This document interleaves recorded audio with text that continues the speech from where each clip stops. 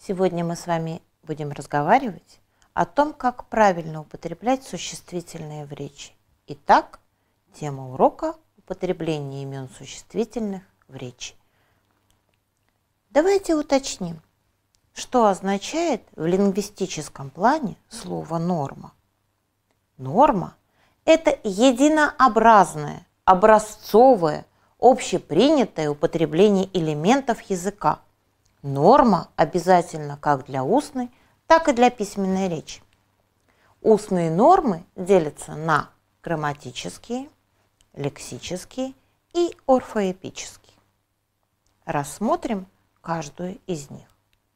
Грамматические нормы – это правила использования форм различных частей речи, а также правила построения предложения.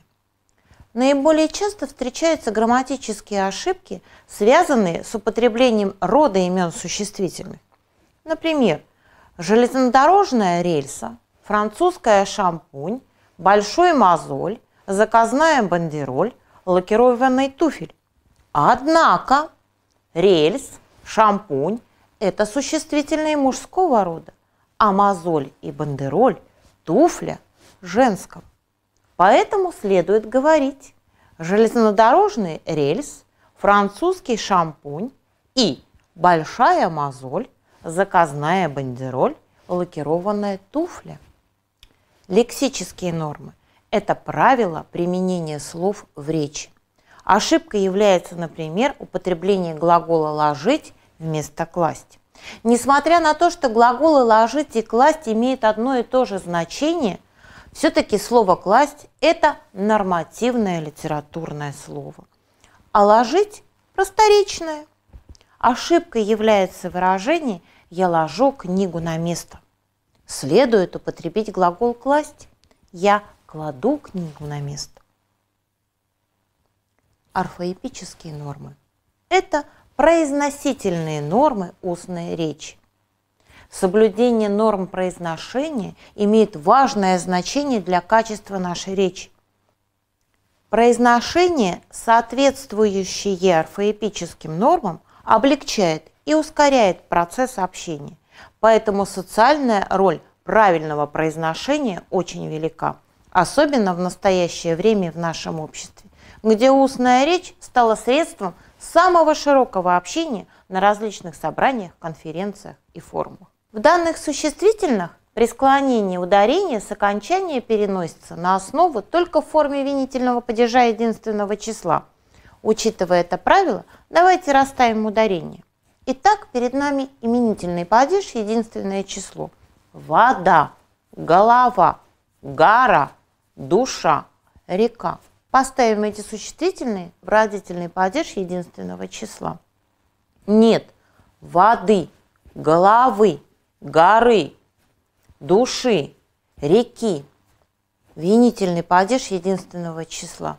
Воду, голову, гору, душу, реку.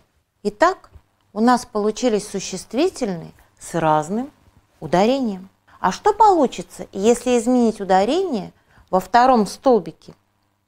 Давайте проверим и поставим эти же слова, но уже в форму множественного числа воды, головы, горы, души, реки. Интересные явления, не правда ли? Одни и те же слова, а значение у них появилось разное. В первом случае у нас были слова в единственном числе, а во втором во множественном. Как же называются такие слова? Такие слова называются амографы. А как правильно сказать? Под гору или под гору? В настоящее время допустимы оба варианта ударения на существительном и на предлоге. По боку, по боку, под боком, под боком, за борт, за борт, на гору, на гору. Однако для повседневной речи более характерны безударные предлоги на воду, под гору, год от года. Но бывает и отступление от этого правила, когда место ударения служит различителем смысла высказывания. Например, жить за городом или за городом. Что значит в пригородной местности? Если надо указать на расположение чего-либо по ту сторону города, то говорят только так – за городом. В устойчивых сочетаниях сохраняется ударение на предлоге бок о бок, без году недели. Запомним это. А сейчас помогите директору из рассказа Михаила Зощенко «Кочерга». А как бы сказали вы? Итак, требования на склад. Имея 6 печей, при наличии одной кочерги немыслимо предохранить служащих от несчастных случаев. А посему в срочном порядке прошу выдать подателю сего требования 5 коче... Что за черт? Не помню, как пишется. 5 коче... Итак, директор в затруднении. Именно форма родительного падежа множественного числа вызывает затруднение. Для этого надо знать правила. В родительном падеже множественного числа нулевое окончание имеют существительные второго склонения, если это парные предметы – сапог, валенок, ботинок, чулок – но правильно говорить носков. Военные профессии. Солдат, партизан, гусар, драгун. Но семь гусаров, пять драгунов, хотя пять солдат и семь партизан. Национальности с на Н. Р. Например, грузин, болгар, армян, но узбеков и казахов. Единицы измерения – вольт, ампер. Но килограммов, граммов, гектаров. Эти названия вам хорошо известны из курса математики. Название фруктов, например, яблок, но апельсинов, мандаринов, лимонов, помидоров. Множественное число именительного падежа существительных мужского рода. В них окончание «а», «я».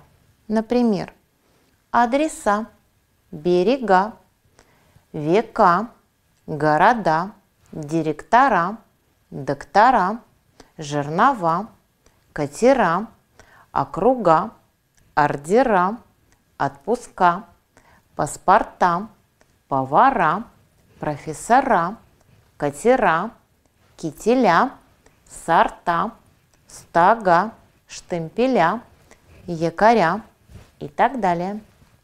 Окончание «и», «ы» имеют существительные. Авторы, аптекари, агитаторы, бухгалтеры, выборы, договоры, инженеры, лекторы, лидеры, конструкторы, конюхи, ораторы, офицеры, приговоры, порты, почерки, ревизоры, редакторы, снайперы, стажеры, слесари, торты, тракторы, шоферы, контейнеры. Так что помочь директору из рассказа Михаила Зощенко поможет какая норма? Конечно, грамматическая. Если говорить о литературной норме, то существительные женского рода во множественном числе в родительном падеже звучат так. Кровель, усадеб, вафель, цапель, кеглей и пять кочерек. А теперь попробуем это запомнить очень простым способом. в детской сказке «Колобок» по траве кататься мог. Без ботинок, без сапог, без носков и без чулок. Шесть гектаров апельсинов, яблок, груш и мандаринов, баклажанов, грядок пять, помидоров не собрать. Друзья мои, это не стихи. В них нет сообразности, поэтичности. Это мнемоника, искусство запоминания.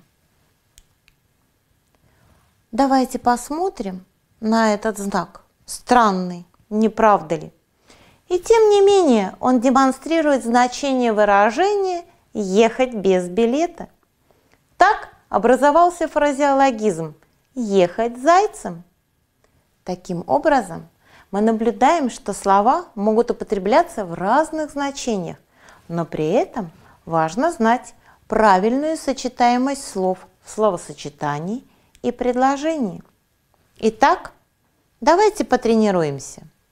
Выберите из слов в скобках необходимые, то есть правильные, с учетом лексической сочетаемости слов. Как же правильно сказать? Заклятый друг или заклятый враг? Я думаю, что все вы догадались. Конечно же, правильно сказать заклятый враг. Вороной конь или вороной цвет? Конечно, вороной конь.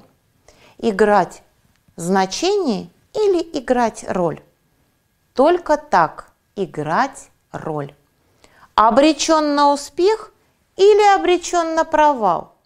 Запомните, что правильно говорить обречен на провал. Неминуемый успех или неминуемый провал? Правильно говорить неминуемый провал. А теперь обратимся к следующим примерам и попробуем выбрать из скобок те слова, которые помогут нам построить правильные словосочетания.